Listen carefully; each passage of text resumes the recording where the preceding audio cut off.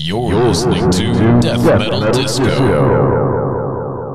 So you've been listening to me ramble on for quite some time about this, that, and the other.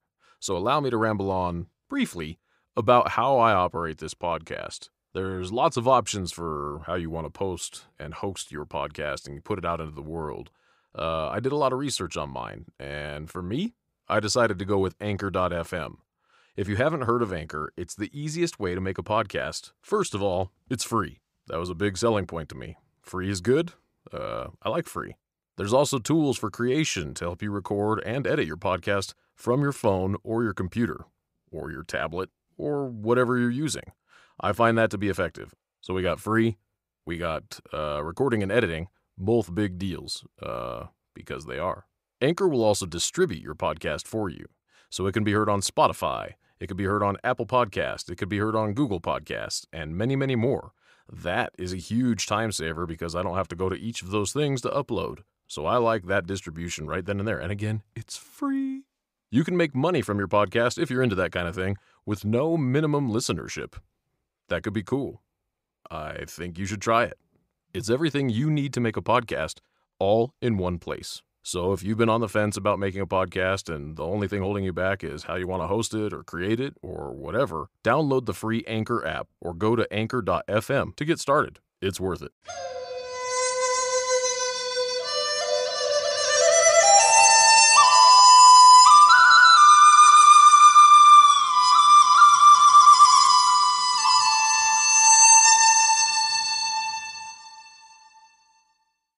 Know, every time I need to do a new episode, I try to think of creative and fun ways to say hello to my audience. And I fail pretty much every single time. I come up with the same thing over and over and over again. Welcome, welcome, welcome, friends of the death metal disco. It is me. It is I, your host, James. So this time I changed it up by mocking my own intro for my own podcast because why the fuck not? I got nothing else to do. The last few episodes of this podcast, I've tried something new by actually outlining bullet points of what I would like to discuss, some specifics, um, but really just, you know, an outline of things to talk about. This one I'm going to try and keep short. Um, but I got kind of a lot of crap on here, so it might not be short. I don't know. I originally thought I had another outline or another episode outline, but I don't unless I come up with a year in review, which I might. So anyway, if you listen to the last episode, it was about the movies, the the fall and uh, uh, Wakanda Forever and Bullet Train and Blood Red Sky. I recommend all those. They were good. And I recorded that uh, about an hour and a half, two hours ago before I left and got dinner. I'm currently recording in a hotel room in Durham, North Carolina, where I am working. Uh, I worked today, tomorrow, and then again Wednesday I will work.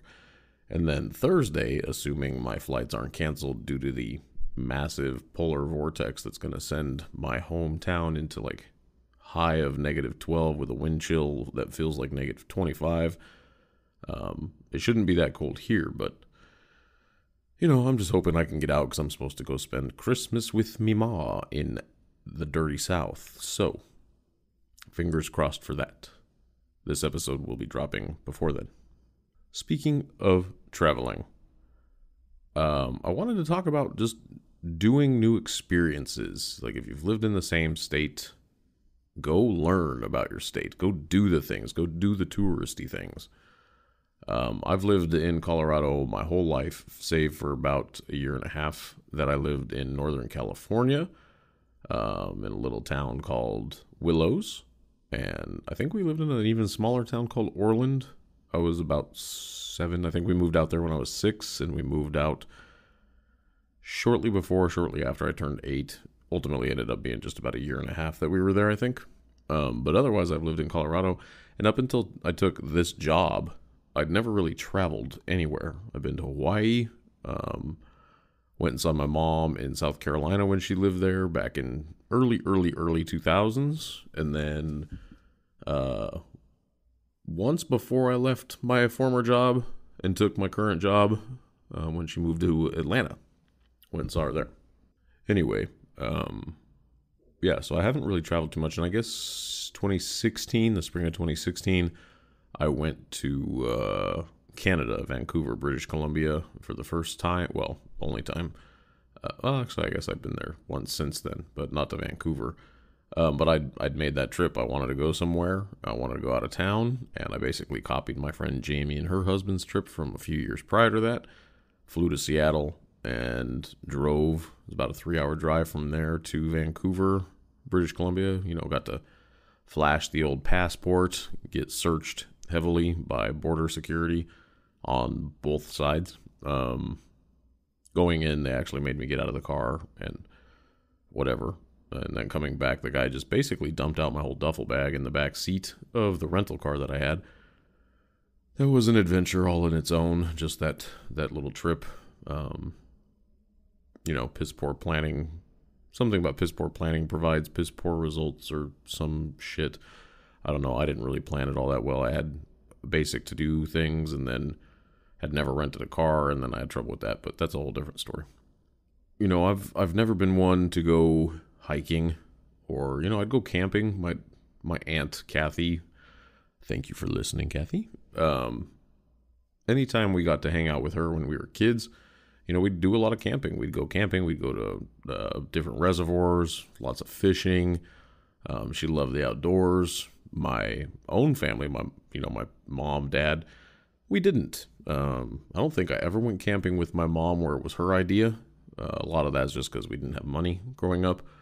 Um, you know, she'd date people that would occasionally do that. I remember going to Pueblo Reservoir once with one of the guys she was with that we lived with at the time, and that was a shit show, but it was weather related shit show and not, you know, just because.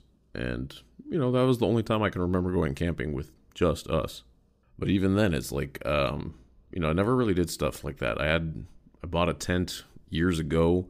I've used it a few times, but I've never really ventured around Colorado. Colorado has a lot of shit to do, like go into the mountains. Uh, you know, I've never skied because I value my life and probably would like to save myself from embarrassment and falling and turning into a giant snowball and taking out hundreds upon hundreds of other people on the slopes. Uh, but also, you know, that costs money. And growing up, we just didn't have any to to do that kind of stuff. So that was never a thing for me. We'd go up to the mountains and you know hang out for a day or whatever, but that was about it. Colorado also has like Central City and Blackhawk, and for a long time, I don't know if it's still true, but for a long time, those are the only places you can go gamble. Like in casinos, they had them there. Um, and up until just two years ago, when I went on a, a date that I met on Match.com, I had never been to either of those things to do that activity.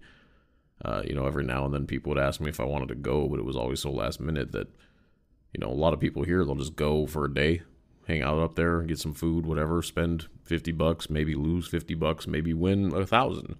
And that's just something I never did until we went on this little date where I lost 50 bucks and she managed to win 500 after I taught her how to play roulette. So I guess my teaching skills are great. My gambling skills, not so much. And then it wasn't until, uh, whatever year we did the Stanley Film Festival for the first time, which I think was 2014, um, I'd been up to Estes Park that I can remember once. And that was when my mom and her husband at the time, whose name escapes me now, uh, they came to Colorado, and my sister had, you know, booked us the ghost tour at the Stanley Hotel. And we went and did that, and that was fun. And Estes Park is beautiful. But then the film festival, uh, we would go. We did that for two years before they uh, basically canceled it and then had to relocate because of some bullshit. They told everybody, "Oh, the the hotel was granted a 11, 11 million dollar uh, fund to build a new state of the art theater in Estes Park," and yada yada yada, and that just that just wasn't true. Um, and I don't know if they lied to us or if that was what they had been originally told, and then that fell through.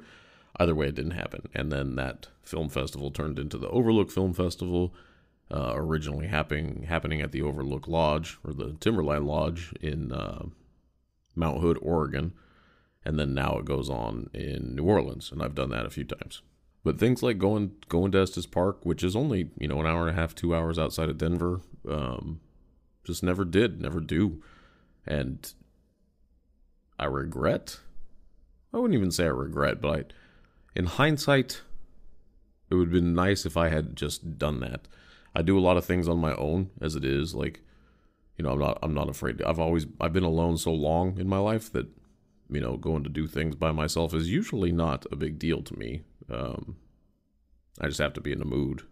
Like Telluride, we go to the Telluride Horse Show. That's in Telluride. It's about a seven-hour drive from Denver. That's not something I would just do on a whim and go alone. But going to Estes Park, I've gone to Estes Park a few times, just on a whim, just to go and drive and hang out for a little while. I plan it poorly every single time, just because the last time I did it was uh, during all the lockdowns in 20. Well, not the last time I randomly did it, but um, in 2020, I just decided, you know what? I'm going to drive up there it's going to be cool. You know, everybody's stuck in their houses. Well, everybody also had the idea of going to Estes Park and hanging out for an afternoon, and it was just packed. There was no, I couldn't even park. I think I went to the Safeway that's there, um, but didn't really do anything. I turned around and just drove right back. And that wasn't bad. I mean, got me out of the house, but really, really outside of that, you know, Estes Park is beautiful. And if you get a chance to go, you should. Tim, uh, Telluride is beautiful. If you get a chance to go, you should. Even if you don't get a chance, you should make that chance. But it just, just something I've been thinking about, especially this year. And it all started, I mean, the beginning of this year, I was out of town for shit, almost 12 solid weeks. Um, the first three months, I was gone every single week. Uh, I think I had one week off in there that I wasn't traveling. I wasn't off, but I wasn't traveling. Um, up until like April, and then finally had a little more time, a little more time. But this year's been a pretty busy travel year, and one thing one thing I've just never really familiarized myself with is all the things that Colorado has. Even like just going downtown. I don't live near downtown. It's about a half hour, 45 minute drive with traffic um, to get downtown, which isn't far, but there's hardly ever anything that I feel like doing down there. If I go see a show or whatever, that's notwithstanding, but it's, you know, very rare that I'm just like, I'm going to go downtown. But it used to be something that I would do back in the day when I was younger and more willing to potentially get into fights, but now it's just too dangerous. You know, average homeless person will stab you or, you know, even pull a gun on you. 16th Street Mall is kind of a shit show. In the daytime, it's not too terrible, but at nighttime, I wouldn't fucking risk it these days, um, just based on things I've heard. But go out and find things in your town or even your state. Um, you know, they might seem touristy, but there's a reason. And that's the one thing I've learned. Like, I started dating a girl earlier this year, and uh, she's amazing. She's fantastic. I did more things in my own state this year uh, than I probably have ever done that were you know, inspired by her. Not even inspired. It was her her looking for things to do and then we did them. And they've been great. And part of it's the company obviously, but just doing new things like um the weekend before Thanksgiving, uh, she and I we stayed in Colorado Springs for the weekend, and we did uh, uh, the Cog Railway to Pikes Peak, to the summit of Pikes Peak, which is something I've always heard of, but I've never once done it. And it's kind of surprising considering my dad's kind of a train nerd and, and loves the idea of doing those things. Um, apparently, he's done that within the last few years. Um, him and my stepmom, and probably my my uh, stepbrother's kids.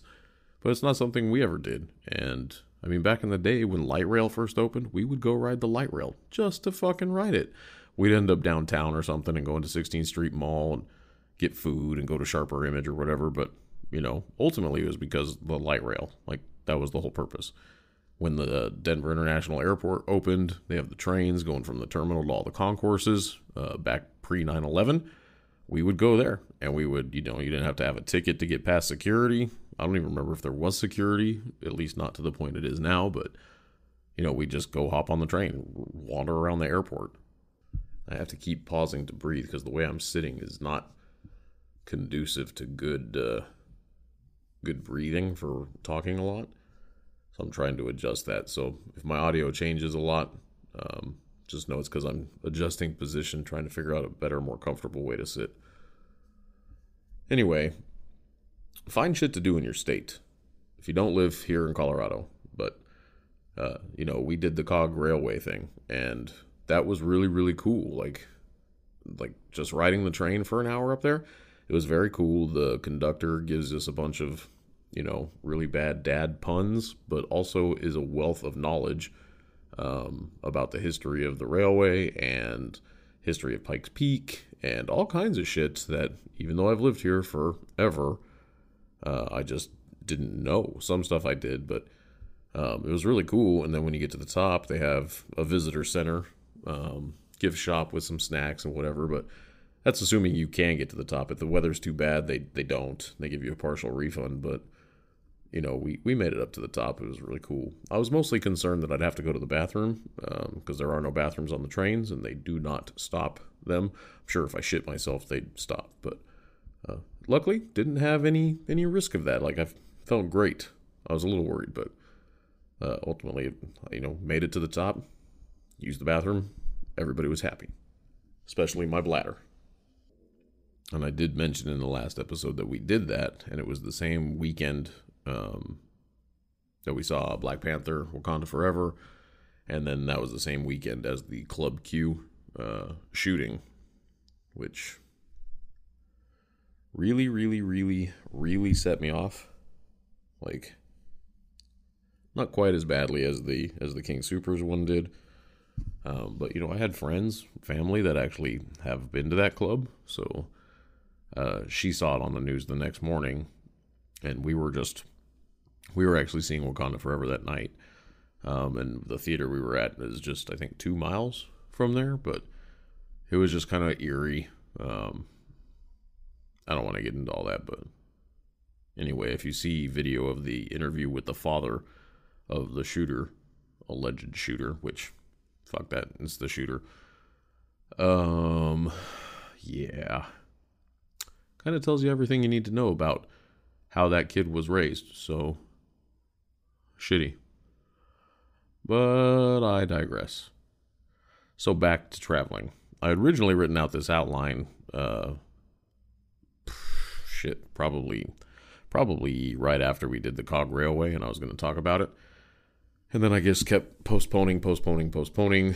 Um, but I have a lot of travel scheduled from then until the end of the year, partially just because of work, and the other reason was because I'm trying to hit Premier 1K with United Airlines, and they even lowered their requirements um, for this year and last year, so it didn't take quite as much to get there. Uh, slightly lower dollar amount and a few fewer flight numbers. Um, it was like 36 flights or qualifying flights, and something like 13,500 bucks, or you just spend $15,000 normally I think it's 50 something flights and $18,000 maybe. Um, they're going back up for next year, but I wanted to hit it. I've been working for this job since 2016, so I got six years in now. And I was thinking I probably would have hit that very, very early on, but then we regionalized, and I was like, oh. And last year, I was about, I think it was $400 shy of Premier Platinum. And I was kind of hoping, oh, I'm so close, they'll just do it. No, that, that doesn't happen. Doesn't work that way. So this year I wanted to make it, and if my travel for Oakland uh, had continued the way it was, um, that wouldn't have been a problem. I probably would have hit that a couple months ago, but that wasn't in the cards. So I had to come up with other stuff. Had a trip that was supposed to be to Florida for um, two weeks ago, or three weeks ago now, I guess, and that got canceled pretty last minute. So I had a free week, um, and I had a trip scheduled for New Year's Eve. I Was going to go to Niagara Falls for New Year's Eve, but uh, that got canceled. So um, that's kind of a bummer. But I mean, it was a big bummer, and I'm very sad about that. But uh, you know, other things have happened. So in in the place of the Florida trip, I ended up deciding that I needed to book a last minute trip to the UK. And Part of it was because I needed to spend the money to try and get my status. And I was like, you know, I want to go somewhere I've never been. I want to go somewhere that's worthy of a story. And I want to do something that um, is familiar, but I wouldn't have a lot of time. So as it turns out, uh, I used to be in a band called Allegaeon, and they at the time were touring Europe, and specifically when I went out there, they were in the UK, and it was them, Inferi, um, Harbinger, which is a UK based band. Um, who the fuck else was on that? Rivers of Nile and Fallujah. Why do I think there's one more band that I'm forgetting? That might be it. Um, they were doing a full. It was, it was almost like like 25, 30 shows or something like that, back to back, no nights off. And I had contemplated going to Germany um, the weekend of Thanksgiving, so like leave Friday, uh, the day after, and then come back Sunday um, because I needed to go to Florida. And then the Florida schedule got all fucky, and I got canceled off of that. Uh, but that was that was not a big deal. So I ended up booking a trip. Asked my boss on Thanksgiving, tell you know, asking her if I could have Wednesday, Thursday, Friday off of the following week since Florida was no longer a thing and I didn't have any other project commitments. Um, and she said, yeah. And she said, why? And I said, because I want to go to England for a couple of days. And she had just gone for her anniversary. So she had hit me up with a few restaurant recommendations. And not that I had time to go to either of them. Um, but I said, okay, found flights, booked a United Premium Plus seating, which is amazing. And I'm supposed to go to Japan in March, and I need to see if I can upgrade my seat to that uh, somehow, some way. I booked it with miles, so to cost a pretty penny. I looked at first class, and those were like five thousand dollars, so that's not happening. But you know, if I can get lucky and sneak in on one of those premium plus seats for one leg or the other, because it's direct both ways, that would be fantastic. Because it's like a 13-hour flight, and those seats, honestly, were the shit. Super comfortable, more space uh, bigger TVs if you choose to watch them. Um, but it's on the Dreamliner, so even the pre the regular economy is still economy plus, and the Dreamliner is just a kick-ass plane. So I'm not too upset if I can't, but I would rather you know get the nice seats. So I got lucky and booked a direct flight out of Denver uh, for Tuesday. I worked all day Tuesday and then left for the airport at like 3:30 and was on a plane at 5:30. Um, going to the UK. And wasn't sure if it was a great idea.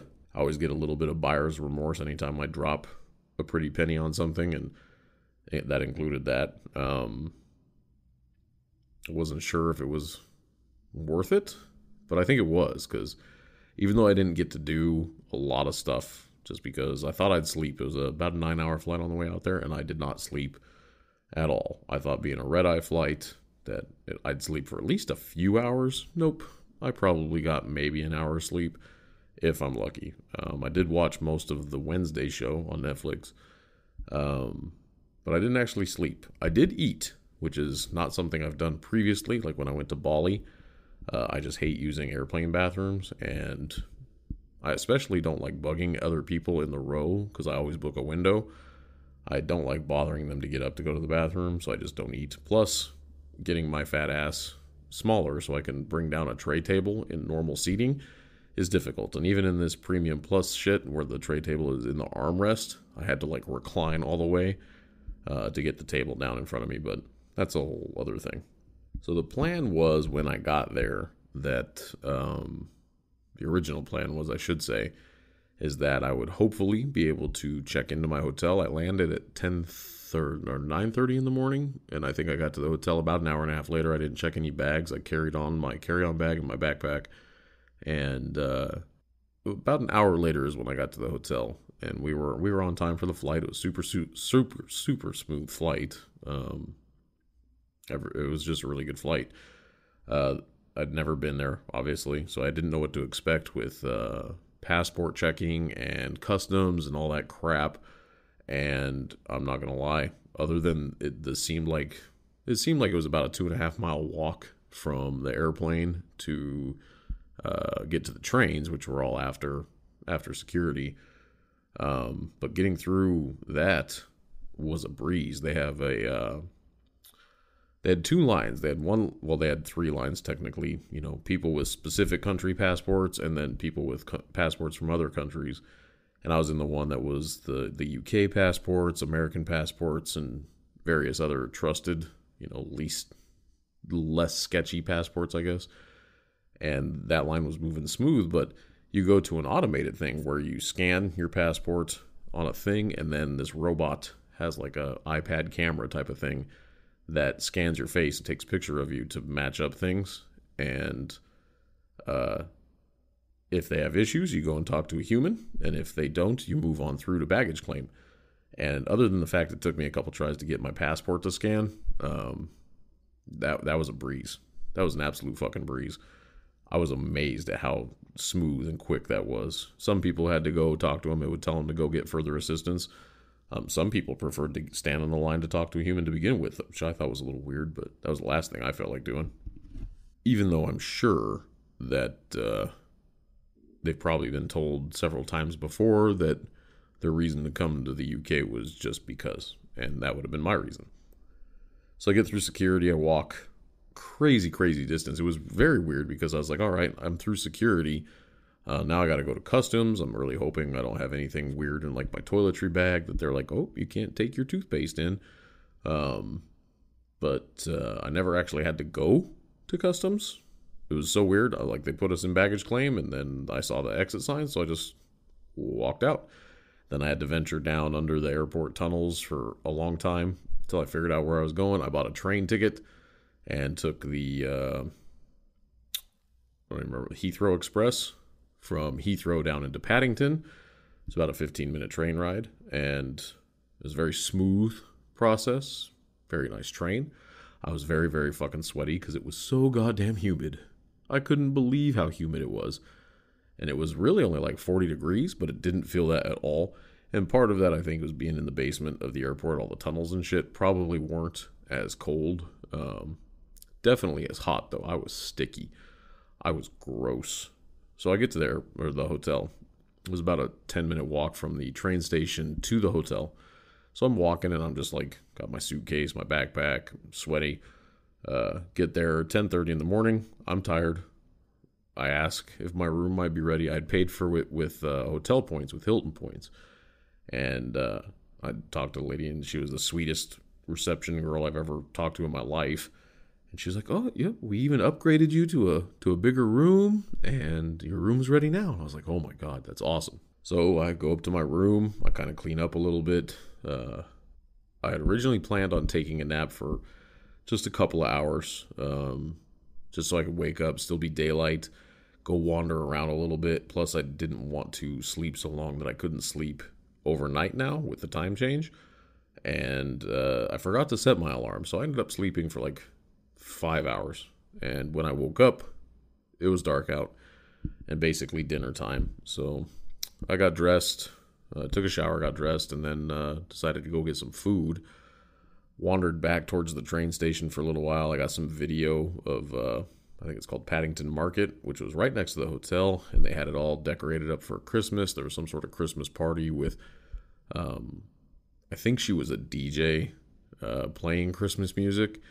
I, I didn't see it while the party was actually going. I made it over there after the party had stopped, but or at least after the the her portion had stopped. And you know, tons of people sitting outside, tables nicely lit with you know Christmas lights, which is really my favorite thing about Christmas is all the lights. Um, and it was it was very cool. I got some video of it. I'm hopefully going to try and edit that together and put it up on the socials just because it's just something I'm trying to do from time to time. Um, but that was really pretty. Then I went and found food, and I wanted to go get fish and chips at this pub that I'd walked by on my way to the hotel, but uh, it was standing room only in there. It was just packed with people. Ended up going to a Greek place, bought a couple things. There was nowhere to sit in there because um, they were super, super small businesses.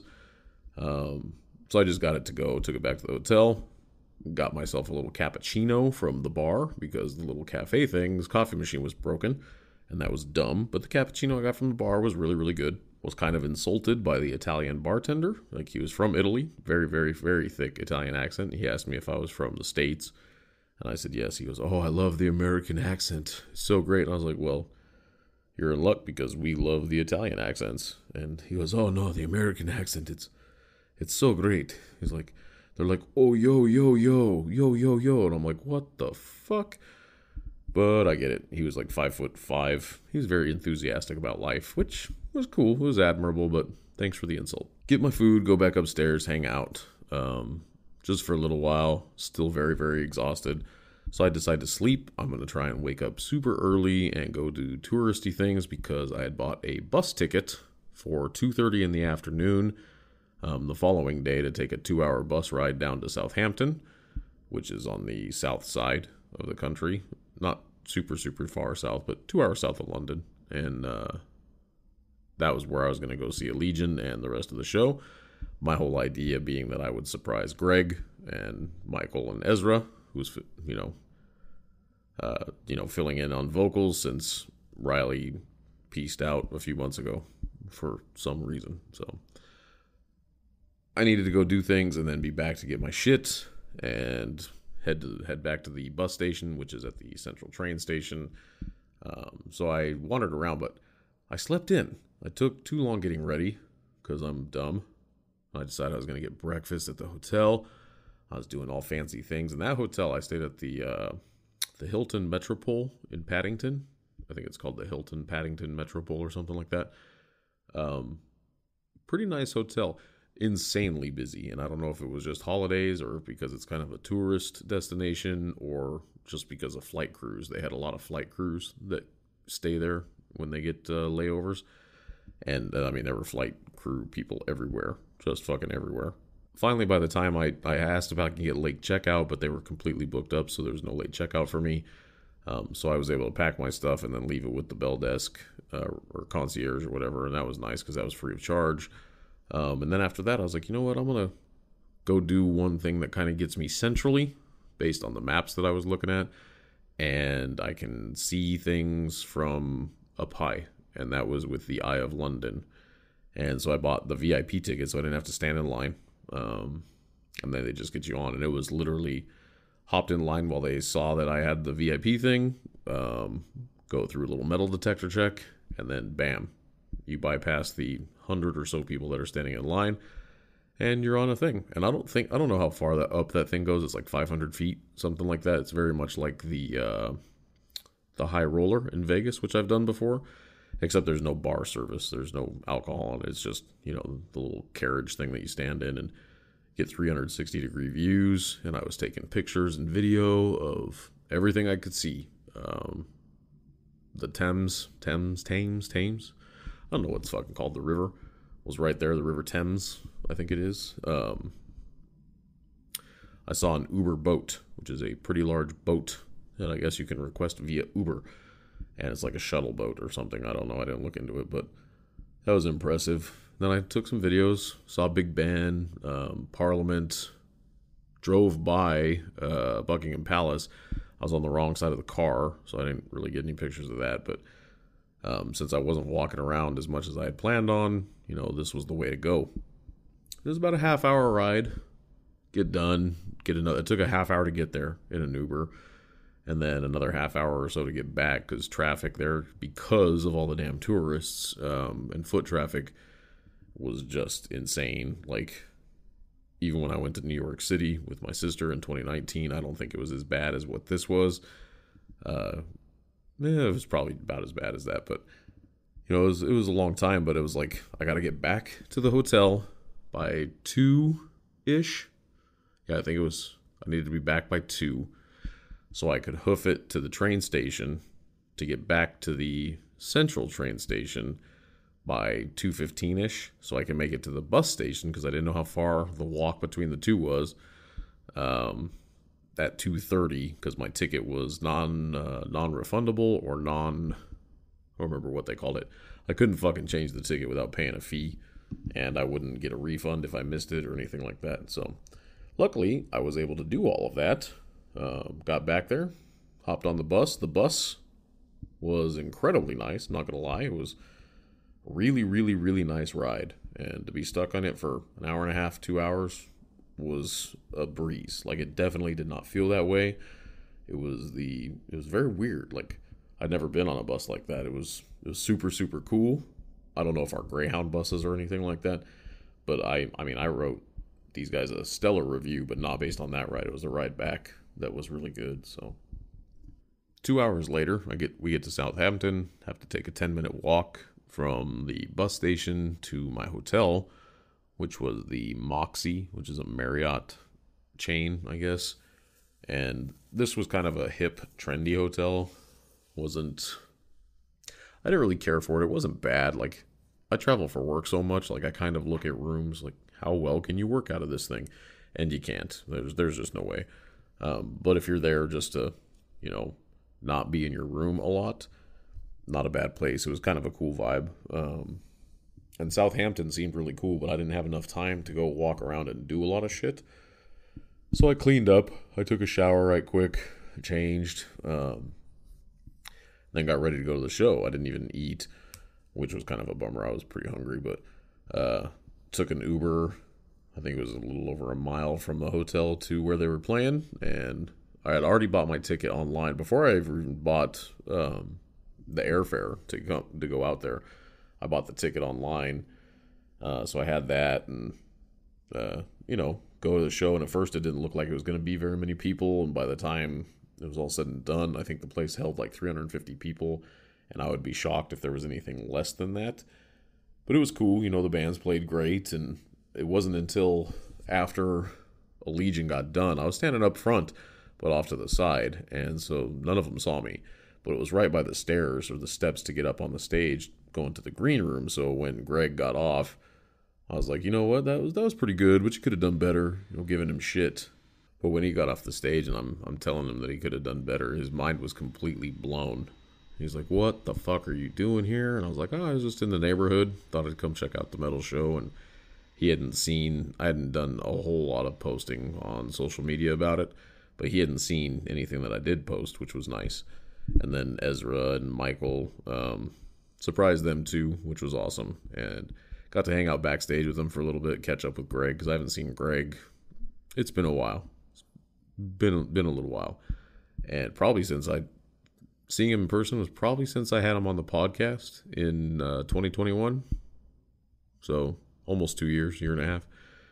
And uh, we were catching up, you know, talk about his life in Canada with the misses and all those good things and talking to Ezra and, and Michael, um, meeting their drummer Jeff, who I had not met before. Uh, that's a talented, talented, talented motherfucker right there. I mean, they're all talented. So it was good to see Ezra back up doing his thing with them. That was that actually made me very happy. So as you know, I liked Riley, but I think Ezra's just more more of a showman. Um, and his uh, his voice, his his voice held out really fucking well. I was very, very impressed with his current sound compared to how he sounded back in the day. There's a lot of uh, factors that had something to do with that, I'm sure. But I mean, fuck, kudos to you, Ezra. If you happen to listen to this, job well done, my friend. So I had a um, bus ticket to return the next morning. So we, we hung out that night, and then I think I got back to the hotel around 11, 11.30 they had to get packed up because they were going to Paris the next day. Um, so they, they had kind of a, I don't know, like a four hour bus ride or something that they had to be on before they got to the shuttle or the ferry, I guess, to get across the channel. Um, which is weird because it's like I never thought I'd have those conversations with people in real life. So it was, it was cool. It was, I was very pleased to see that band doing so well, just so fucking well. They deserve longer than a 30 minute five song set. Just saying. Uh, if you hear me, avocado, that's their booking. Whoever that's the the booking uh, agent for them for the European tour. Uh, they deserve longer than five songs and 30 minutes. So fix that shit next time. So anyway, I had a, a really early uh, bus ride back to Heathrow to catch my flight, and I think my flight was at I want to say it was at 11:30 11:30 in the morning. 2-hour bus ride puts me there at 9:30. So maybe it was maybe it was 12. Um I had to be at the bus at 7:30. No, I had to be at the bus at 7. and that should get me there by nine. And then I think my flight was at seven or at noon. And they tell you to get to Heathrow about three and a half hours ahead of time because security lines are really long uh, because of extra COVID testing and blah blah blah blah blah. Uh, I woke up at 4:30 in the morning just on a whim. I'd been asleep since like eh, one, and saw an email from United that my flight, which originally was going from Heathrow to Chicago with a layover there and then Chicago to Denver, had been canceled. And then they had rebooked me on a direct flight, which wasn't available when I originally booked the trip uh, to Denver for almost an hour earlier. And I was like, oh shit. So I panicked because I was like, fuck, you know, I don't want to be, I don't want to miss this flight, then be stuck here. Um, just because of reasons, right? So I I booked it. I I fucking took a real quick shower, got dressed, packed real quick, surprisingly fast, and uh, speed walked the 10 minutes from the hotel to the bus station. And the whole time I was walking there, I was trying to buy or change the ticket. Remember, I had a non refundable, non uh, modify. I can't remember what they called it, but I I couldn't modify my ticket without a fee, and I'm trying to just buy a new ticket on, on their website, and it just wouldn't fucking let me. It kept crashing. I was like, what the hell? Well, I figured it was probably because it's only a few minutes before the bus actually departs. The bus was departing at 5:35 in the morning. And I walked up there at 5:32. The tr- the bus station was closed, so I couldn't even wait inside if I had missed the bus. Like I would have been fucked. Um, but the bus driver was standing there at 5:33. Some some girl who had just missed her bus was talking to him, and then he looks at me and I say, "Hey, I, I have a ticket for the seven o'clock bus out of here, uh, but they canceled my flight and I'm trying to get there earlier and it wouldn't let me change it." And he's like, "Oh yeah, no worries, just hop on." So he took my bag, threw it under, and then I got on the bus and there was like five other people on the bus, and I was like, totally cool. He didn't even look at the ticket that I had, um, which he probably should have, and I didn't mention that in my review, but just the fact that he allowed me to do that. Granted, I didn't know how many people were on the bus, but you know, I, I made sure to go sit in the back where the seats were super close together, just because I didn't want to take up space in case other fully paid people got on the bus. Um, but I mean, without that, I probably would have been fucked. So bus ride back, uh, get to Heathrow. Didn't know the process was able to get my bag. I checked my bag this time. I didn't want to fucking deal with that uh, going through the airport and all that shit again. So that was good. But, um, you know, was, I got to the airport like, I got to my gate really, really, really early. And that's after stopping to grab some food to take to the gate to eat, uh, which I'm glad I did because it was like, it was such a long walk from security to the airport gate or to the, to the gate to board because it was, uh, it felt like fucking forever but it was good. And then got on the plane and was hopeful that I would sleep because I was just so tired. And I think I slept off and on for maybe two hours, but the flight back was like 10 and a half hours because um, we went way further north. Like, we went really, like, I would say we were in the North Pole for a little while, or at least the, the Arctic Circle for a, a pretty good chunk. And I don't know what the deal is with that. Maybe they just have so many flights coming out of the States going to Europe that the uh, the the routes that we took to get out there were probably a little busier, so having to go north, like super far north, and then come back almost directly south into Colorado was the way to go. But that added like almost two full hours to our flight time, I think. Plus, with the um, headwinds and stuff, it just usually takes longer to come back this direction, westerly, I guess. But it was cool, you know. I just slept like absolute butthole that whole time. But I will say, excuse me, I keep yawning. But I will say, um, with the relevance to the rest of this episode, like I spent more money on that trip just between the airfare and uh, random shit I did that was kind of touristy. Like the Eye of London wasn't super expensive; it was a little more expensive with the VIP, but it wasn't bad. Um, but the bus ticket, the train tickets, uh, the Ubers that I took, the UK is expensive anyway, um, and the dollar is not super strong with it right now. Uh, I spent more money than I probably should have, but I'm not gonna lie, it was absolutely fucking worth it. Like, I'd do it again in a heartbeat.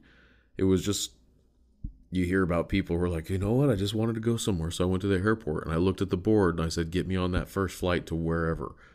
And this was kind of like that. It was a little better plan than that, but I mean, that's the first time I've done anything to that level, and I couldn't be happier about having done it. It was great to see Greg and Ezra and Michael and meet Jeff, and then Greg introduced me to people in the other bands. Like, um, can't remember the fucker's name now. He was hilarious.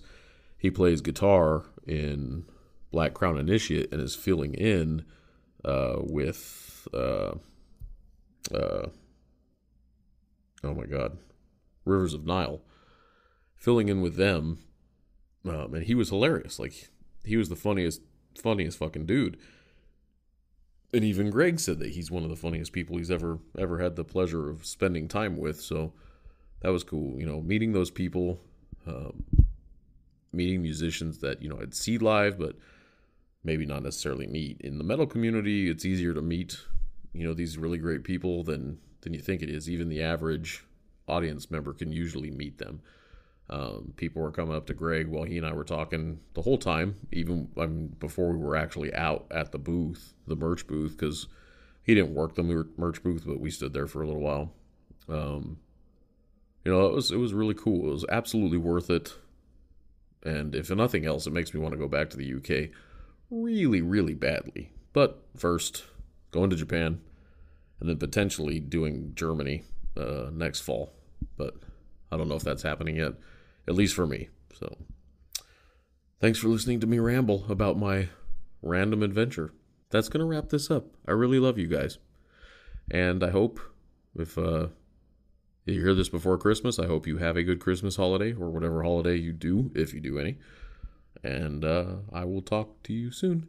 Much love, motherfuckers. Thank you for listening to Death Metal Disco.